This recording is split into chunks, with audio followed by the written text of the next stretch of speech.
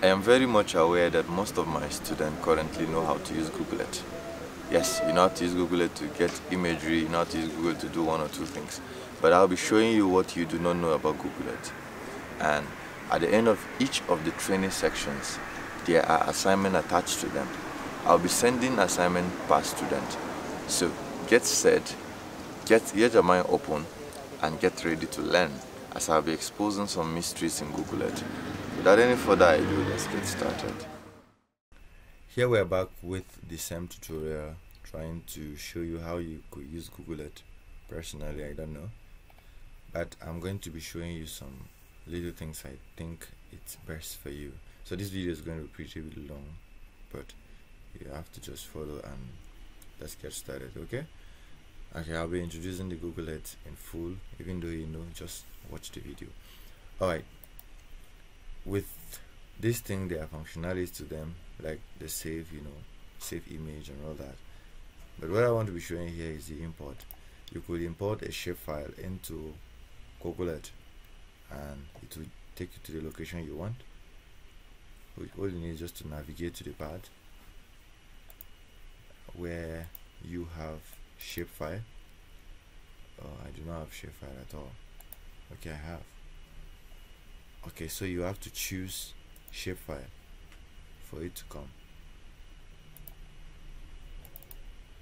I do not have shapefile I drew that database. So let's forget about that.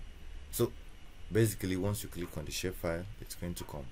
And you just put it. It's going to take you to the location. Instead of having to come and search for it you could use shapefile to do that. So you come to file and you go to import then you navigate to your folder you change the file type. As any of the file you have you could go through the files.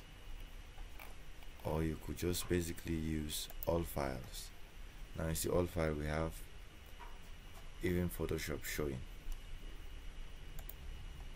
So if we come to our work now we'll have other files showing. So Excel will show. Every file will show so you just select all files and select the files that suit best to what you want to do and import it. Now on edit uh, there's nothing in edit. View good. Now basically if you want to use google Earth to download satellite imagery you have to remove all the side and all that. So if i remove the side this one will go. If i remove the toolbar this one will go. If i remove the status bar this will go too so this will give you room to be able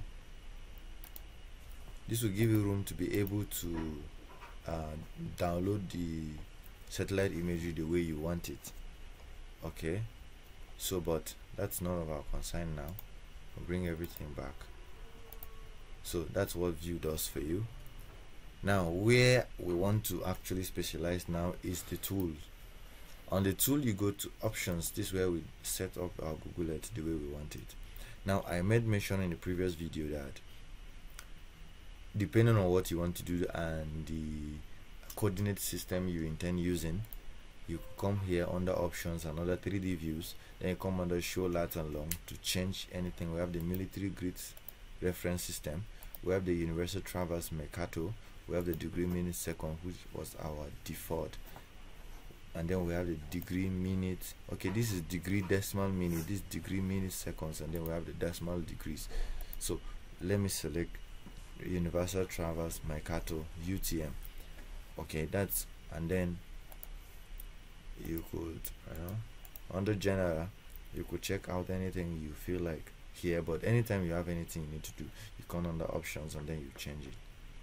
All right that is one. Now for this um for this very uh, exercise we're going to be using google earth but we will not be needing any of this. This is what we need. We need the decimal degrees. So you change your google earth to decimal degrees and you okay. So on the view there was something we removed. Status bar good. Now this one will give us reports of the um the coordinates. So you can see that our coordinate is decimal degrees. All right now this next task you're going to be doing will require an excel file. So you bring out your excel your microsoft excel and you turn it on. Because what we are going to do now we'll title it um, generating data from Google Earth. And we're going to be doing point data. We've downloaded satellite imagery. Now we want to acquire some data with Google Earth. So the first thing is for some people I'll be telling them to do other things as their assessment. Okay for some I'll be giving but now what we want to do basically we want to acquire schools within Abuja. Oh. so let me just use school as in direct uh-uh. Schools in Abuja. And then I will search.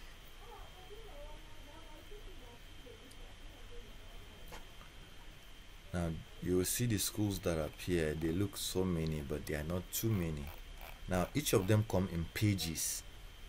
So by the time we start if I set page I click on this one to take me to page 2 you see different school will come out. If I go down again it's going to take me to another page it's telling that there are more page loading. So when you finish just the first school they give it does not mean you finish all the schools in that location. Because there will be pages pages pages pages and pages until you don't see anything here. It means it's the last page. That's the first thing i want you to take note here. Now how are we acquiring this coordinate now here is the school. You will zoom very well to where the school is located. Okay? So this is the school environment and it is galaxy schools. Okay? These are just descriptions someone wrote. But the name of the school is galaxy schools. So i'll pick my place mark and take it to where that one is. So this may not be as accurately as possible but the school is within that place so what you will do here you will just copy your, on your latitude you copy the latitude without that degree sign. Right click and copy. Then you will go to excel. On the excel we're going to be typing name. That's name of school. That's the field you need to create. Name of school or school name and it's going to be state and it's going to be location.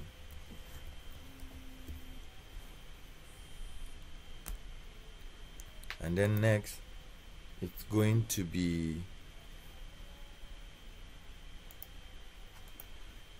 alright so after location you put to identify whether this is a database we're creating because we'll need this as a course of the training but that's why I want us to touch every aspect. So take this seriously. I want us to touch every aspect that requires data creation. So this will form as our database at the end of the training. So the next one will be uh, type of the school. Let's what type is it a primary school? Is it a nursery school? Is it a secondary school? Is it a university? So you check the type you type type then you say ownership well if you have a name better than this you will your, your idea is welcome. So ownership. Then lastly is going to be the lat and long then here we already have the school name. We have this box have to be big. The school name. So we'll paste the name we just copy. Control v. Oh, oh sorry. I copy latitude i forget. Control x. The lat control v. Okay. I did you first copy the school name. I did not remember to do that. Alright so let's finish up with the coordinate first. Then our long control C. We'll come back and control uh oh already press control C. Control C and control V. Then what is the school name? To copy the school name just click here once. Then we copy galaxy schools. Control c. Now you see the address of the school. That's where location comes in. So you click and you control v then here you choose this and you select destination formatting that is going to follow what this one has been doing.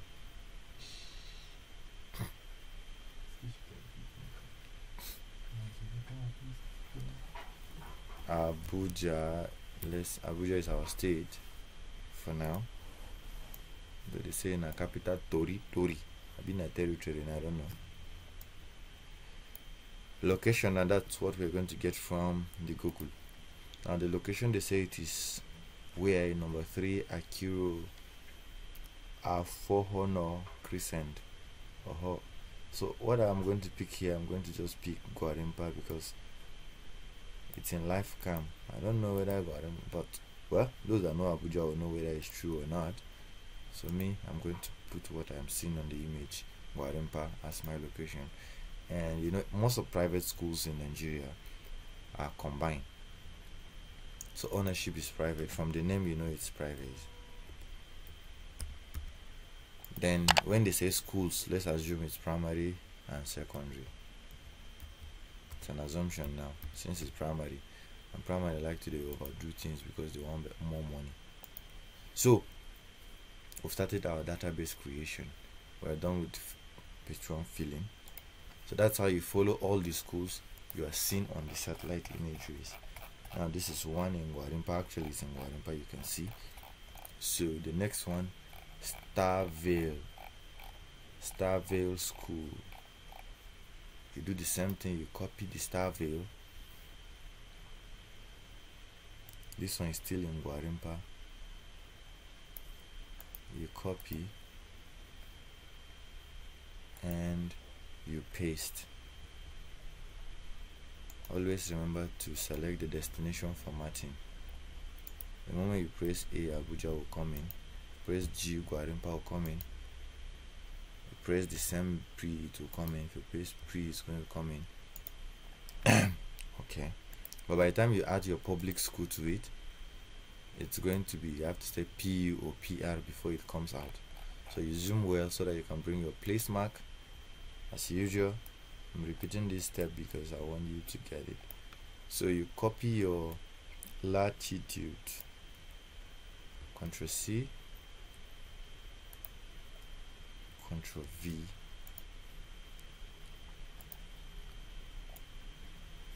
Ctrl C Ctrl V. So basically this is how you're going to be doing until you're done with all the schools within that location so this is one. Secondly still on the point data acquisition what are the other points data acquisition we need to do? We have school we have hospitals we have um, hotels. We have what again? Public building like the embassies within abuja and lagos. They're all point future they're area of interest. We have banks we have markets. Okay so basically for this i have 29 students for this training. So i'm going to split everything within abuja. I'm going to send you what you're going to be working on. Some will be working on schools. One person will take school within abuja. One person will take hospital one will take market so that I'll, we will be able to achieve something at the end of the training okay? So basically at the end we'll exchange the data so that everybody have different data we can use for querying and analysis okay? So basically this is what you're going to be doing for this very training so this is google Earth and i will see you in a bit to conclude with SAS Planet and Landsat image downloading. I will see you in a bit.